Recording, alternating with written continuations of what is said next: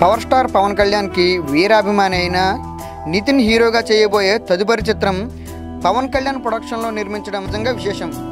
ఈ సినిమాని rowdy fellow చిత్ర దర్శకుడు కృష్ణ చైతన్య దర్శకత్వం వహించబోతున్నాడు.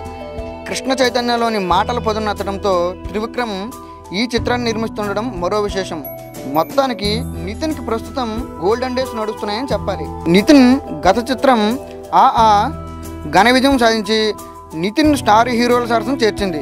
ఇప్పుడు సాక్షాత్తు నితిన్ తన ఆరాధ్య దైవంగా భావించే పవర్ స్టార్ ప్రొడక్షన్లోనే తను హీరోగా నటిస్తుండడంతో నితిన్ ఆనందానికి హద్దులు లేకుండా పోయాయి. నిన్న ఈ చిత్రం పవన్ కళ్యాణ్ త్రివిక్రమ్ సమక్షంలో ప్రారంభమవటం విశేషం.